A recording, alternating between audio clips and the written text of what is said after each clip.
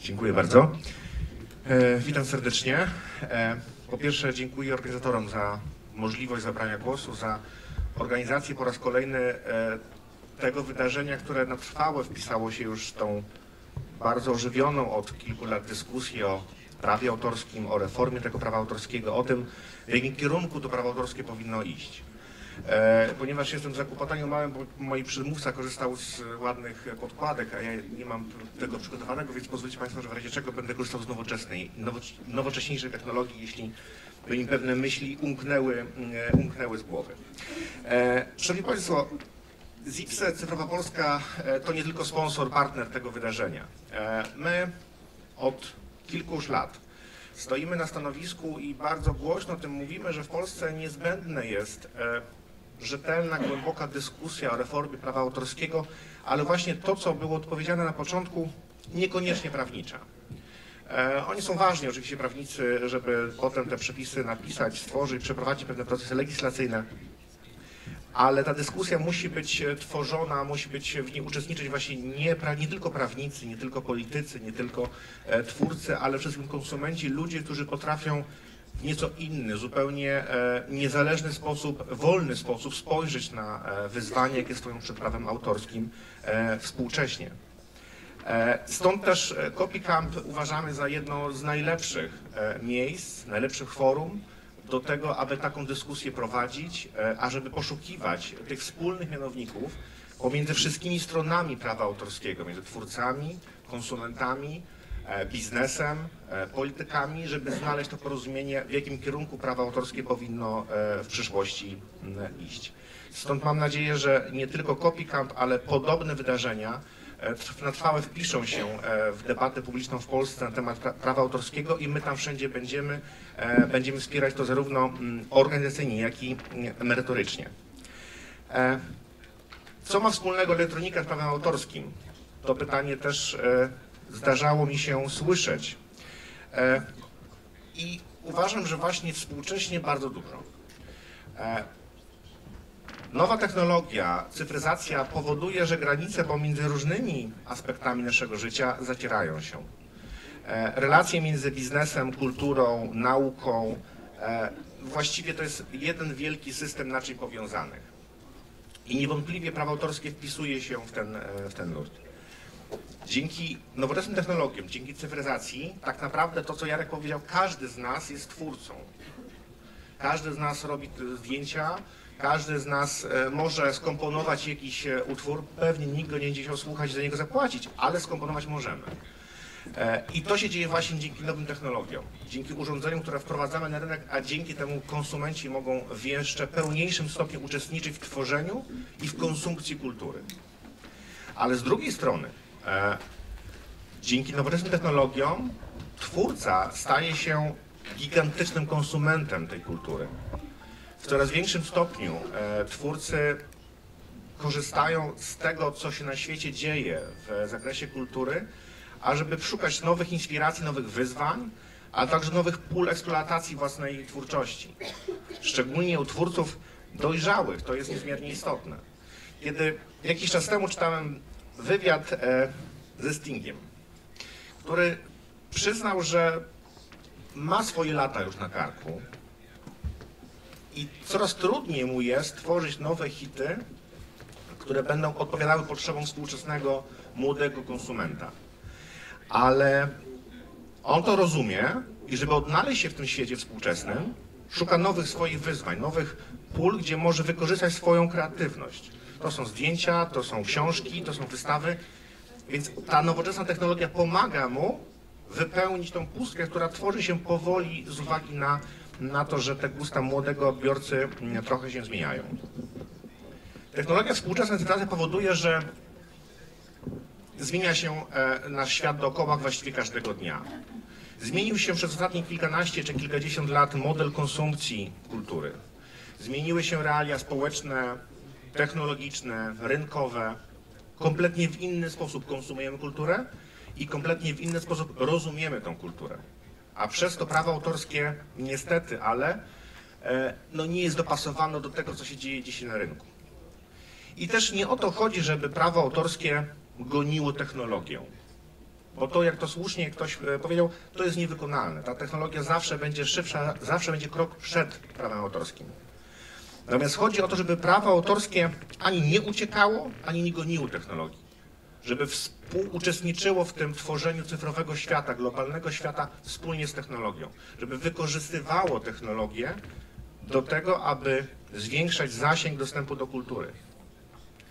Czy nowoczesna technologia, czy cyfryzacja to zło dla kultury, czy też dobro? To jest pytanie, które, jeżeli ktoś by znalazł odpowiedź, na przykład na CopyCampie na to pytanie, to będzie dla, w moich oczach absolutną gwiazdą e, tego CopyCampu. Bo mamy do czynienia chyba z dwoma modelami podejścia do tego, czym jest nowa technologia, czym jest internet dla kultury, dla twórców, dla prawa autorskiego. E, z jednej strony mamy przykłady artystów, twórców w Polsce, którzy często na spotkaniach nawet z nami podczas debaty nad prawem autorskim mówią, że ale oni nie chcą być w internecie.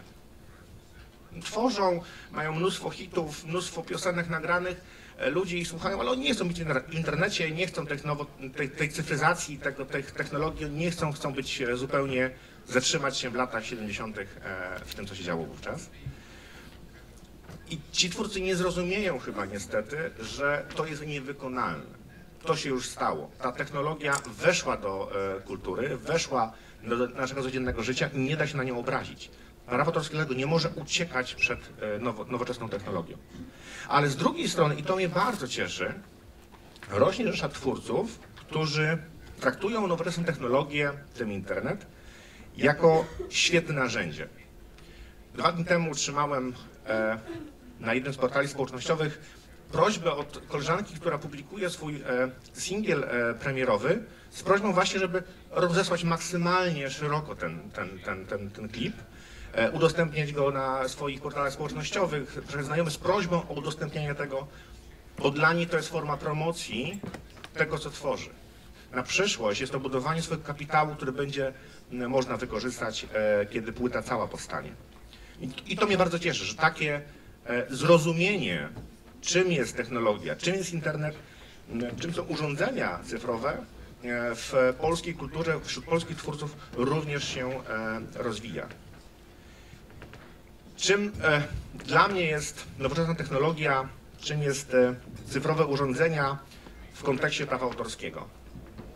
Swego czasu, kiedy zaczęliśmy dyskusję w Polsce o opłacie reprograficznej, bardzo wąskim temacie, E, niewątpliwie ta dyskusja pokazała, że dyskusja niezbędna jest, ale dużo szersza.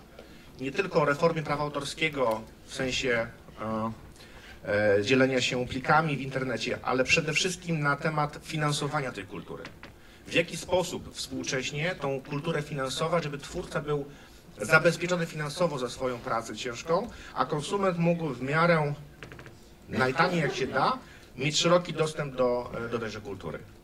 I w tym segmencie absolutnie nowa technologia e, jest sojusznikiem i jednych i drugich.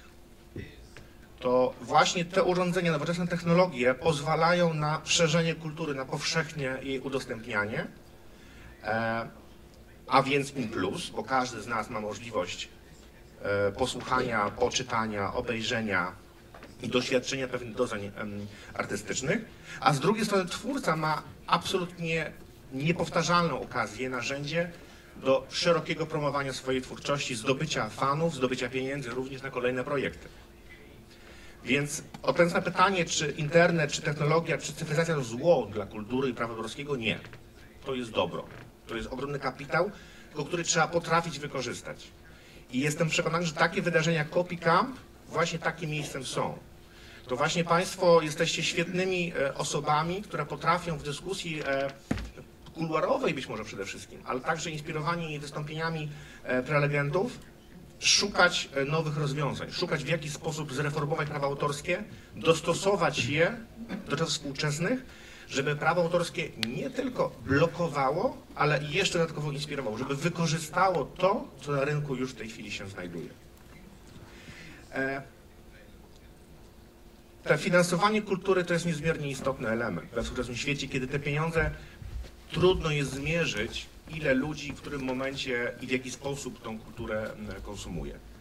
E, dzisiaj będziecie mieli okazję e, między innymi zobaczyć jeden z projektów, które przyszłości, w w ciągu miesiąca, e, już zapraszamy, staną się faktem w Polsce projekt Patronite, gdzie to właśnie dzięki nowoczesnym technologiom konsument będzie mógł zdecydować, co mu się podoba, a co w związku z tym, czy może za to zapłacić, czy ma to sens.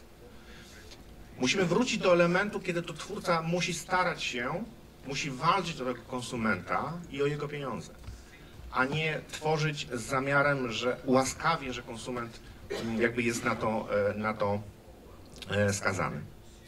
I e, kończąc, bo nie jestem przedłużeń, bo prelegenci są tutaj gwiazdami dzisiaj, chciałem wtrącić taką małą, jedną prywatną sprawę.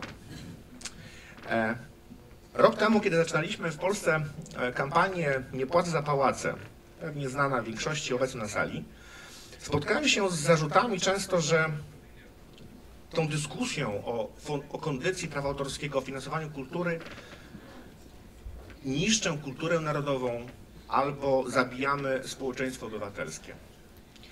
I muszę Państwu powiedzieć, że po tym roku e, tej dyskusji ożywionej w całej Polsce i po tym, jak patrzę na tą salę na Kopikampie, uważam, że było warto.